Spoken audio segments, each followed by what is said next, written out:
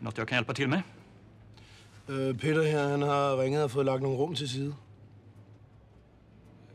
Do you speak English? Martin, hvad er det, hun står og siger? Forstår hun ikke dansk?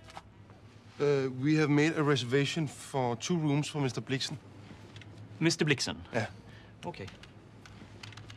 Martin, spørg lige, om de har et uh, mødelokale. Et mødelokale. Et mødelokale med en uh, tavle. Hvorfor det?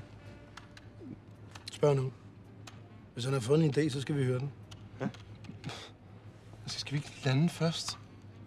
Men så, så, hvis det er så svært, så spørg jeg selv. Du skal da være så velkommen. Ja, det gør jeg da også. Uh, hello. Uh, do you have um, a room uh, with um, a room? Yes.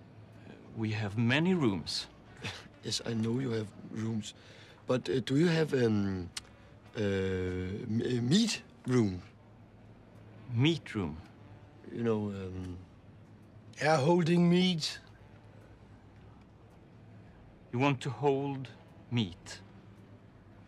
yes, we, we would like to um, to have a meat room with a towel.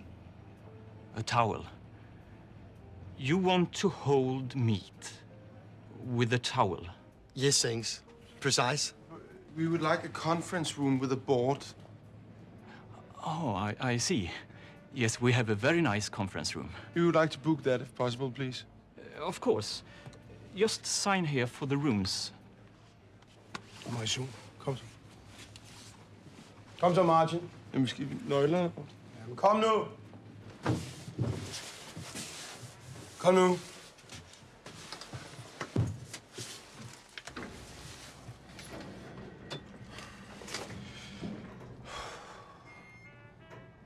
Meat room. Det hedder det da. Det er sgu da ikke min skyld, de ikke kan tale engelsk herovre. Det er sgu da ikke meat room. Det gør det da. Men altså, at han så ikke ved det, der, det, det er fandme dårlig service, Martin. Det er da for fanden. Peter har ret.